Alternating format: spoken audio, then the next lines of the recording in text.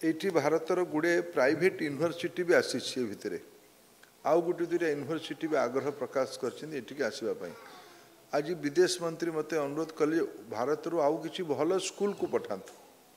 ମାନେ branded school ତାଙ୍କ କଳ୍ପନା ମିଳେ ଆପଣ କଳ୍ପନା ବତାନ୍ତୁ ମୁଁ କିଛି ଭାରତର ଭଲ ସ୍କୁଲର ଲିଷ୍ଟ ବି ଆମର ବିଦେଶ ବିଭାଗ ମାଧ୍ୟମରେ ଏଠିକାର ଶିକ୍ଷା ବିଭାଗକୁ ପଠାଇବି। ଯେଉଁ ସ୍କୁଲ ଗୁଡ଼ିକୁ ସିଏ ହାତ ରଖିବେ ସେ ସ୍କୁଲ ଗୁଡ଼ିକ ବି ଏଠିକୁ ଆଣିବାର ପାଇଁ ଆମେ ପ୍ରଚେଷ୍ଟା କରିବା ଏଠି କମ୍ୟୁନିଟି ସ୍କୁଲର ପିଲାମାନଙ୍କୁ ମୁଁ ଆଜି ଭେଟିଲି ଏଠି ଯେଉଁ ଇଣ୍ଡିଆନ୍ କମ୍ୟୁନିଟିର ଯେଉଁ ସ୍କୁଲଟି ଚାଲୁଛି ଆବୁଧାବିରେ ସେଠିକାର କିଛି ପିଲାମାନେ ମୋର ଆଜି ଇଣ୍ଟରଭ୍ୟୁ କରିଲେ ମୋତେ ବିଭିନ୍ନ ପ୍ରଶ୍ନ ପଚାରିଲେ ତାଙ୍କର କନଫିଡେନ୍ସକୁ ଦେଖିକି ମୋ ମନରେ ବହୁତ ମୋତେ ଭଲ ବି ଲାଗିଲା ଯେ ଆମର ଭାରତୀୟ ମୂଳର ପିଲାମାନେ ବି ଏଠିକି ଆସିକି ବଡ଼ ଆତ୍ମବିଶ୍ୱାସ ସହ ଅଛନ୍ତି। କିନ୍ତୁ ସମସ୍ତେ ସେକେଣ୍ଡ ଜେନେରେସନ୍ ଥାର୍ଡ଼ ଜେନେରେସନ୍ର ପିଲାମାନେ ବି ହେଇଗଲେଣି। ଯେଉଁମାନେ ଟିକେ ଏଇଠି ହ୍ୱାଇଟ୍ କୋଲାର ଜବ୍ରେ ଅଛନ୍ତି ମୁଁ ଜାଣିନି ଏ ଭିତରେ ଘର ଫର ଆପଣମାନେ କେତେ କିଣିଛନ୍ତି। ଜଣେ ବନ୍ଧୁକୁ ପଚାରିଲି ମୁଁ ଥରେ ଯେ ତୁମେ ଏଇଠି ଘର କିଣିଲ ନା ନାହିଁ? ସେ କହିଲେ "ନାଇଁ, ଏଇଠି ଘର କିଣିବିନି। ଏଠି ଭଲ ଭଲ ଭଡ଼ା ଭଡ଼ା ଘର ତ ଭଲ ମିଳୁଛି ଆଉ। ଏଠି ଘର କିଣିବିନି ଇନଭେଷ୍ଟ କରିବେନି ଗାଁରେ ଇନଭେଷ୍ଟ କରିବା। ଏଇଟା ଗୋଟେ ଭଲ କଥା। ଏଇଠି ଆପଣମାନଙ୍କର ଆମର ଓଡ଼ିଶା ଆଉ ବାହାରକୁ ଯାଇକି ଅର୍ଥନୀତିରେ ଯୋଡ଼ି ହେବା ଅନ୍ୟ ରାଜ୍ୟ ତୁଳନାରେ ଓଡ଼ିଶାଟା କମ୍। ଆମର ସଂଖ୍ୟା ମାନେ ଉତ୍ତରପ୍ରଦେଶ କେରଳ ପାଖାପାଖି ଆମ ସଂଖ୍ୟା ହେବ କିନ୍ତୁ କେରଳର ହିଷ୍ଟୋରିକାଲ ବ୍ୟାକଗ୍ରାଉଣ୍ଡରୁ କେରଳର ଜିସିସି ସାଙ୍ଗରେ ସମ୍ପର୍କ ଅଧିକା ଆଉ ବିଶେଷ କରି ୟୁଏଇ ସାଙ୍ଗରେ ସମ୍ପର୍କ ଅଧିକା। ଏଗୁଡ଼ାକ ସମୟକ୍ରମେ ଆମେ ବି ତା ଭିତରେ କିଛି କିଛି ପଶିଲୁ ଆପଣମାନେ ଆହୁରି ଭଲ ଭାବେ ପଶନ୍ତୁ ଭଲ ଭଲ ଜାଗାରେ ପହଞ୍ଚିକି ଏହା ବିଷୟରେ ଚିନ୍ତା କଲେ କିଛି ନା କିଛି ରାସ୍ତା ବାହାରିବ। ଆଜି ଦିନରେ ମୁଁ ଭାରତ ସମ୍ପର୍କରେ ଦୁଇ ତିନିଟି କଥା କେବଳ କହିବି ଆଉ ଓଡ଼ିଶାରେ ଗୋଟେ ଦୁଇଟା ଜିନିଷ ମୁଁ ଯୋଡ଼ିବି ପରେ ପୁଣି ସାଂସ୍କୃତିକ ସନ୍ଧ୍ୟା ଦେଖିବା ଆମେ। କିନ୍ତୁ ଦୁଇ ତିନିଟା ଜିନିଷ ଭାରତରେ ହେଉଛି। ଭାରତ ଏବେ ଗ୍ଲୋବାଲି ଫିଫ୍ଥ ବଡ଼ ଇକୋନୋମି ହେଇଗଲା। ଆଗାମୀ ତିନି ଚାରି ବର୍ଷ ଭିତରେ ଭାରତ ୱାନ୍ ଟୁ ଥ୍ରୀ ଭିତରକୁ ଯିବ। ଯେଉଁ ପ୍ରକାର ଫଣ୍ଡାମେଣ୍ଟାଲ ଆପଣମାନେ ମୋଠୁ ଭଲ ଇକୋନୋମିକ୍ ପଲିସିସ୍କୁ ଆପଣମାନେ ବୁଝୁଛନ୍ତି ମୁଁ ଯେତେବେଳେ କୋଭିଡ଼ର ପିକ୍ ଥିଲା ସେତେବେଳେ ଏପଟକୁ ଆସିଥିଲି ଥରେ। ପିକ୍ କୋଭିଡ଼ ବେଳେ ମୋତେ ପ୍ରଧାନମନ୍ତ୍ରୀ ପଠାଇଥିଲେ ଏ, ମୁଁ ଆସିଥିଲି କୁଏତ ଆସିଥିଲି। କୁଏତ ଆସିଲା ବେଳେ ଦୁବାଇ ହେଇକି ଯାଇଥିଲି ମୁଁ। ଏୟାରଫୋର୍ସ ପ୍ଲେନ୍ରେ ଆସିଥିଲି।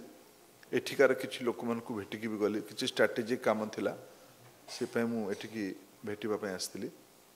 ସେଠି ସେତେବେଳେ ମୁଁ ମାର୍କ କରିଛି ଜିସିସିରେ କ'ଣ ଫିଲ୍ କରୁଥିଲେ ଏକଦମ କୋଭିଡ଼ ପିକ୍ ଥିଲାବେଳେ ମାନେ ଆମର ଯେତେବେଳେ ଭାରତରେ ଲକଡାଉନ୍ ଜଷ୍ଟ ଖୋଲିଥିଲା ଭାରତରେ ବହୁତ ପ୍ଲେନ୍ ପ୍ଲେନ୍ ଚାଲୁନଥିଲା ସେ ପାଇଁ ମୁଁ ଏୟାରଫୋର୍ସ ପ୍ଲେନ୍ରେ ଆସିଥିଲି ସେ ସମୟରେ ମୁଁ ଆସିଥିଲା ବେଳେ ଦେଖୁଥିଲି ଏଠିକାର ସେଣ୍ଟିମେଣ୍ଟକୁ ମୁଁ ମାର୍କ କରୁଥିଲି ସେତେବେଳେ ଯେଉଁମାନେ ଆପଣମାନଙ୍କର ପରିବାର ଭିତରୁ କିମ୍ବା ଚିହ୍ନା ପରିଚୟ ସାଙ୍ଗସାଥି ଆମେରିକା ଭଳିଆ ଦେଶରେ ଥିଲେ ତାଙ୍କ ସାଙ୍ଗେ ଆପଣମାନେ କଥା ହେଉଥିବେ ଆପଣ ଗୋଟେ ଚିତ୍ର ଦେଖିଲେ ମୁଁ ସେ ସମୟରେ କନଷ୍ଟାଣ୍ଟଲି ମୋର ଯେତିକି ଡାଏସ୍ପୋରା କନେକ୍ଟ ଥିଲା ମୋଟାମୋଟି ମୁଁ ପଚାଶ ଖଣ୍ଡେ ଦେଶର ଓଡ଼ିଆ ଲୋକମାନଙ୍କ ସାଙ୍ଗେ କଥା ହେଇଛି।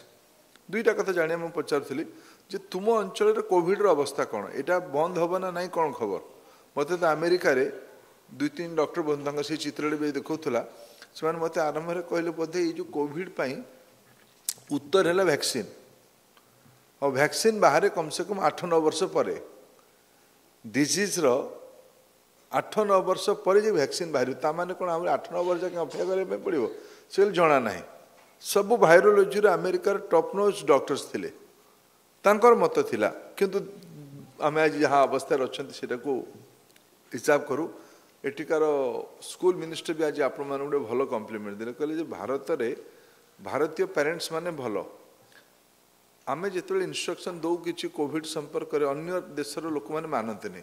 ଭାରତୀୟ ଲୋକମାନେ କିନ୍ତୁ ପୁରା ଜଲ୍ଦି ତାକୁ ମାନିଯାଆନ୍ତି ପ- ପ୍ରଶ୍ନ ପଚାରନ୍ତିନି ପ୍ରଶ୍ନ ପଚାରନ୍ତି ତେଣୁ ମୋତେ ସେ ଧନ୍ୟବାଦ ଦେଲେ ତେଣୁ ଆପଣମାନେ ଭଲ କାମ କଲେ ଧନ୍ୟବାଦ ମୁଁ ବି ପାଇଗଲି ଆଜି ସେତେବେଳେ ମୁଁ ଯେଉଁ କୋଭିଡ଼ ସମ୍ପର୍କର କଥା କହିଲି ଯେ ଦେଶର ବିଶ୍ୱର ଇକୋନୋମିଟା ବଡ଼ ଚ୍ୟାଲେଞ୍ଜିଂ ଅବସ୍ଥାରେ ଥିଲା ବିଶ୍ୱରେ ରୋଜଗାର କେମିତି ଲୋକ କ'ଣ କରିବେ ବେରୋଜଗାର ହେଇଗଲା ନୂଆ ନୂଆ ମାନେ ୱାର୍କ ଫ୍ରମ୍ ହୋମ୍ କରି ନୂଆ ବିଷୟ ବାହାରିଗଲା ଆଜି ବି ୱାର୍କ ଫ୍ରମ୍ ହୋମ୍ ଚାଲୁଛି କେତେ କେତେ ନୂଆ ନୂଆ କଥା ହେଲା ଆମେରିକା ଭଳିଆ ଦେଶ ବି ଇକୋନୋମିକ୍ କ୍ରାଇସିସ୍କୁ ଗଲା। ଆଜି ବି ଇକୋନୋମିକ୍ କ୍ରାଇସିସ୍ରେ ଅଛି। ତାପରେ ଦେଶରେ ବିଶ୍ୱର ଯେଉଁଭଳିଆ ସ୍ଥିତି ଆସିଛି ୟୁକ୍ରେନ୍ ରଷିଆର ଝଗଡ଼ା ଏବେ ଏବେ ଓଡ଼ିଶା ଅଞ୍ଚଳରେ ଝଗଡ଼ା ଏ ସବୁ ଗୁଡ଼ାକ ବିଶ୍ୱର ଇନଫ୍ଲେସନ୍ ବଢ଼ଉଛି ସପ୍ଲାଇ ଚେନ୍କୁ ଡିସରପ୍ଟ କରିଦେଉଛି। ଆଜି ବିଶ୍ୱ ଗୋଟେ ଛୋଟ ଗାଁ ହେଇଥିବା କାରଣରୁ ତାର ଭାରତର ଇକୋନୋମିରେ ତାର ଇମ୍ପାକ୍ଟ ବି ପଡ଼ିବା ସ୍ୱାଭାବିକ। ତାପରେ ବି ଭାରତ ଛଅ ସାତ ପରସେଣ୍ଟ ଗ୍ରୋଥରେ କାମ କରୁଛି। ଆଉ ଇଏ ଆଗାମୀ ଦଶ ବର୍ଷ ପର୍ଯ୍ୟନ୍ତ ଛଅ ସାତ ଆଠ ଏଇ ପ୍ରକାର ଛଅରୁ ଆଠ ଭିତରେ ହୋଭରିଂ କରିବ ଗ୍ରୋଥରେ ଛଅରୁ ଆଠ ଭିତରେ ଯଦି ଚାଲିଲା ଆମକୁ ତିନି ବର୍ଷ ଲାଗିବ ନମ୍ବର ଥ୍ରୀ ଇକୋନୋମି ହେବା ପାଇଁ। ଯଦି ଆପଣଙ୍କୁ ଆମ ଭିଡ଼ିଓଟି ଭଲ ଲାଗିଲା ତେବେ ଆମ ଚ୍ୟାନେଲକୁ ଲାଇକ୍ ସେୟାର ଓ ସବସ୍କ୍ରାଇବ୍ କରିବାକୁ ଜମା ବି ଭୁଲନ୍ତୁ ନାହିଁ।